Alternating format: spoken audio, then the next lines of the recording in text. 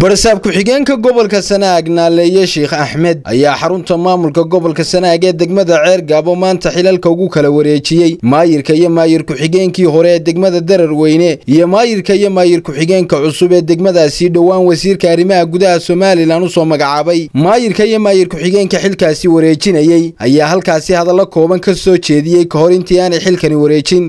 Xilkii u wareejinaynaa gudoomiyaha iyo gudoomiye ku-xigeenka cusub ee degmada dararweyne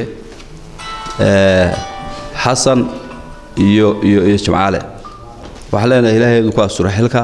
Intii aanu haynana jisaayigeeda ilaahay hana mariyo. Ahayn maamulkii degmada dararweyne waqti badanna waanu soo joognay. Waxaanuna maanta u bedelaynaa maamulka cusub. Waxaa xambaarateen mas'uuliyad ballaaran. Annana maanta runtii waxaa naga digtay mas'uuliyad ballaaran intaasi kadibna maayirka cusub ee degmada dararweyne xasan cabdulaahi yaaquub iyo jimcaale cawad maxamuud oo ah maayir ku-xigeenka degmadaasi ayaa iyaguna halkaasi ka hadlay.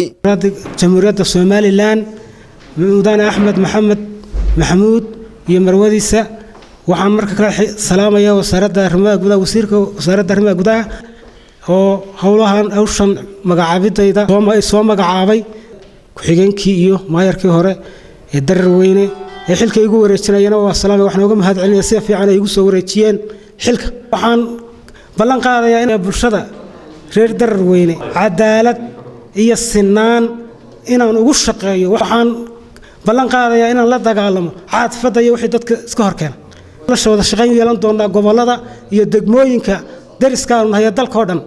Degmada guddoomiyayaashii ka sii horeeyey ee hadda xilka nagu wareejiyey runtii dadaan meel kuwada noolayn bay ahaayeen dad aan anagu de mas'uul noo ahaa bay ahaayeen. Si fiican ayay uga soo shaqeeyeen degmada waana uga marqaati kacaynaa. Meel fiicanna way soo gaarsiiyeen. Sidoo kalena munaasibadan xil wareejinta waxaa ka hadlay barasaab ku-xigeenka gobolka sanaag taliyaha qaybta booliiska isuduwaha wasaaradda deegaanka xogayaha gobolka iyo marti sharaf kale. Nu joognaa xil wareejintii maamulkii hore degmada dararweyne iyo maamulka cusub. Waa sunnaha dowladnimo xil wareejintu qolana ay haysay qolana ay marka dambe qabato qolana ka baxdo waa sunnaha. Waxaan rajaynayaa sidaa uu maamulku maanta markhaatiya looga wada yahay qoladii horena dee mataqaana waan u sii ducaynaynaa runtii wax badan bay qabteen. Maamulka dambe iminka xilka maanta la wareegayana in iyagu mas'uul ka yihiin wasaare ahaan iyagu deegaanka ay shaqaalaa jooga. Maamulkii hore ee degmada dararweyne way la shaqayn jireen ciidanka booliiska meeshana waxaa ku hareeraysan degaan ballaadhan maamulka cusub. Waxaan ka rajaynayaa haddii baraalli ka dhigo inay noola shaqayn doonaan sidii maamulkii hore ay noola shaqaynayeen wadani waa munaasabadaha caddeeya dowladnimada.